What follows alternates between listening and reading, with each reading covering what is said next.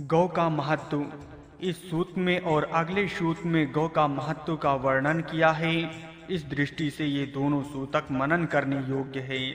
पहले ही मंत्र में कहा है कि, मैं दान देता हूँ, ऐसा ही यजमान बोले।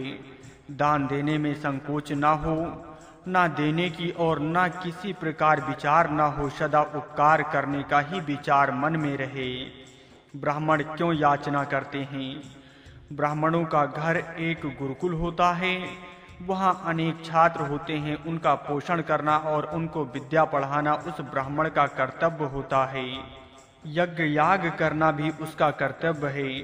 इस सब के लिए विद्वान ब्राह्मणों की गौ की आवश्यकता होती है।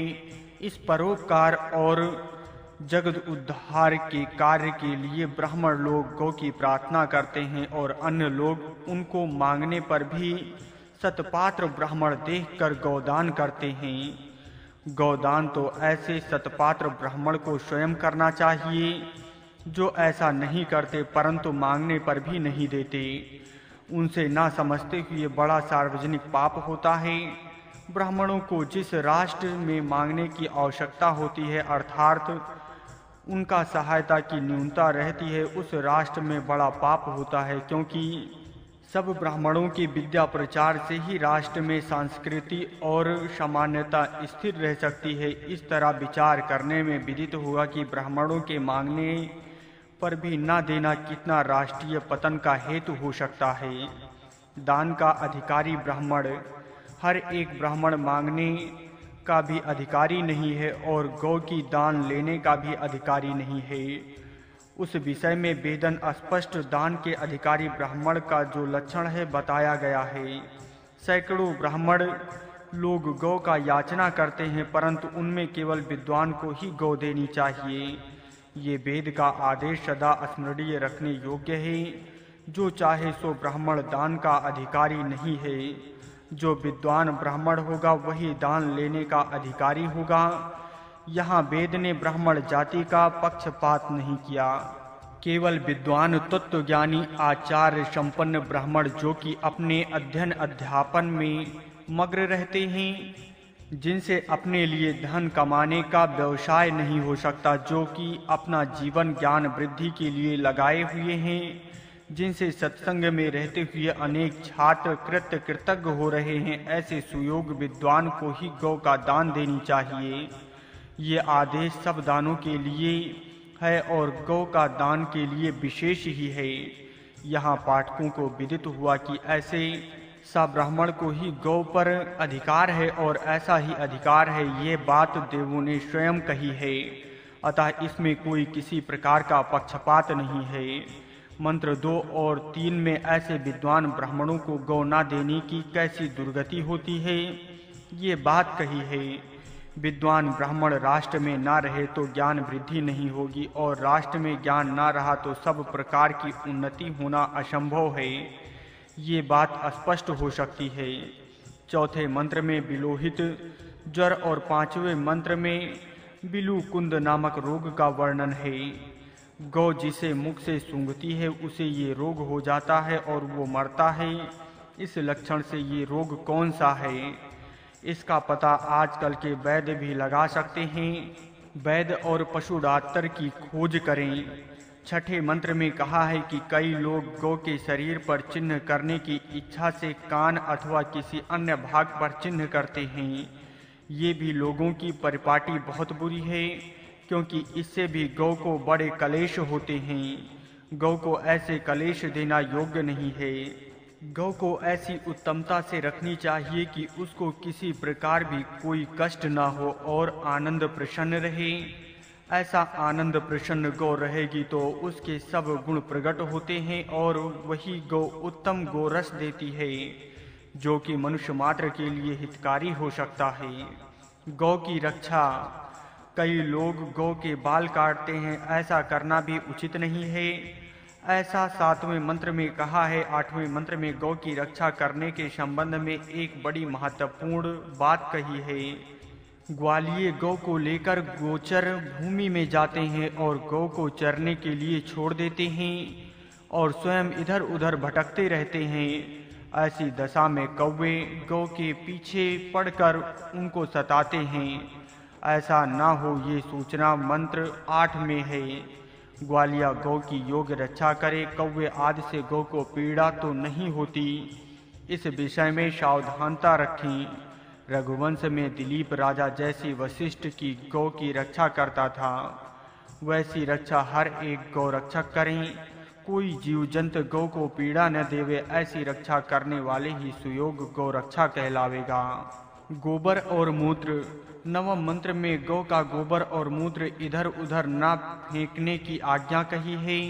किसी विशेष स्थान में उनको अर्थात गोबर को और मूत्र को सुरक्षित रखना चाहिए, क्योंकि ये उत्तम खाद है, जिससे धान, फल, फूल, साग आदि उत्तम पैदा हो सकती है। इधर उधर नौकरानी फेंक देगी और उससे बड़ी हानि होगी।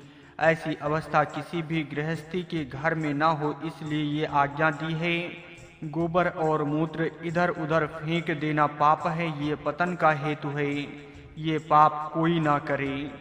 आगे दशम में, द्वादशा के मंत्रों में फिर कहा है कि ये गौ विद्वान सुयोग सदाचारी ब्राह्मण की होती है। ऋषि प्रणाली के अनुसार आचरण करने वाले को ही इसका दान करना चाहिए। तेरहवें मंत्र में कहा है कि जो भोग पदार्थ गौ से प्राप्त होता है, उसका विचार दाता गौ का दान करने के समय न करें, क्योंकि उसको वो भोग अन्य रीति से भी प्राप्त होता है। यदि कोई दाता दान देने के समय में ये विचार लावे कि, अरे रे रे, मुझे तो इससे ये भोग मिलेगा और मैं इस भोग से ऐसे सुख प्राप्त करूँगा। इसका दान करने से मुझे ये दुख उठाने पड़ेंगे। कोई दाता ऐसे कंजूसी के विचार मन में ना लावे, इस प्रकार विचार मन में लाने से दान का सब महत्व तो नष्ट हो जाएगा। दान से जो उसकी उच्चता होती है, वो इस प्रकार के विचार से समूल दूर होगी। सोलहवें मंत्र में फिर कहा है कि, गौ तो ऐसे सापात्र ब्राह्मणों का ही धन है। गौ के स्वामी के पास तो वो तीन वर्ष पर्याप्त रहे, उसके पश्चात वो सुविद्ध सतपात ब्राह्मण को दी जाए। योग ब्राह्मण प्रार्थना करने के लिए ना आवे तो वैसे ब्राह्मण को ढूंढना चाहिए, परंतु कभी आयोग को दान देना नहीं। आगे इक्कीसवें मंत्र तक दान का ही महत्व वर्णन किया है। बाईसवें मंत्र में विद्वान ब्राह्मण को गौ का दान करना चाहिए। ये बात फिर कही है, सैकड़ों अविद्वान मांगे तो उनको देनी नहीं चाहिए, केवल विद्वान ही दान लेने का अधिकारी है। ये बात हर एक दान देने वाले को स्मरण रखनी चाहिए। इस तरह दान देते रहेंगे तो जगत का उद्धार होगा। कुपात्र में दिए दान ही अधोगति करने वाले होते हैं। आगे तेईसवें मंत्र में विशेष ही बल से कहा है कि यदि कोई मनुष्य ऐसे विद्वान को दान न देकर अन्य अविद्वानों को देगा तो उसको बड़ा दुख होगा। आगे के तीन मंत्रों में कहा है कि ब्राह्मण, अग्नि आदि देवताओं के उद्देश्य से गौ को घृत, दुग्धा आदि की आहुतियाँ देते हैं और देवताओं का संतोष करते हैं। इसलिए उनको गौदान करना चाहिए। यदि दान न किया तो यजमान को बड़ा कष्ट भोगना पड़ेगा। आगे बत्तीसवें मंत्र में यही विषय कहा है।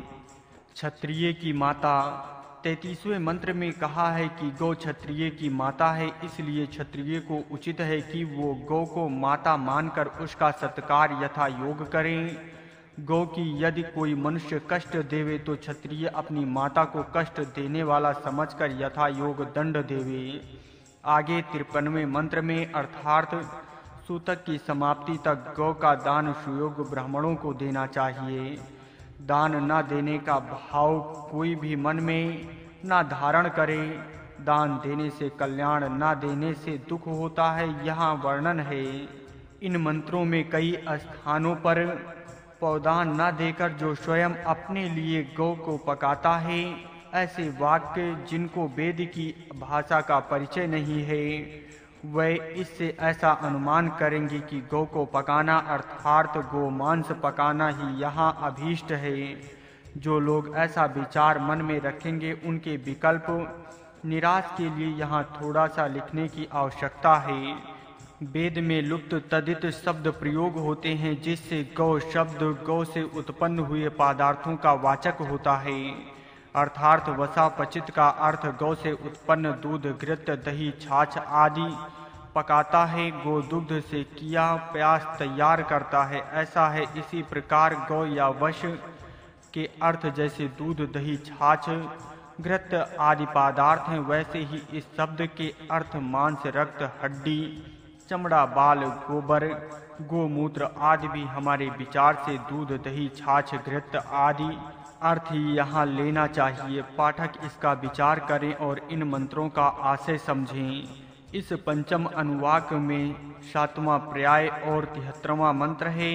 इस संपूर्ण सूतक में गौ की महिमा कही है और ब्राह्मण की गौ, कोई ना छीने ब्राह्मणों को गौ दान दी जावे। जो ब्राह्मणों, अर्थात विद्वान ब्राह्मणों को सताते हैं, उनकी गौ चुरा कर ले जाते हैं। उनके सर्वस्व का नाश होता है इत्यादि वर्णन है।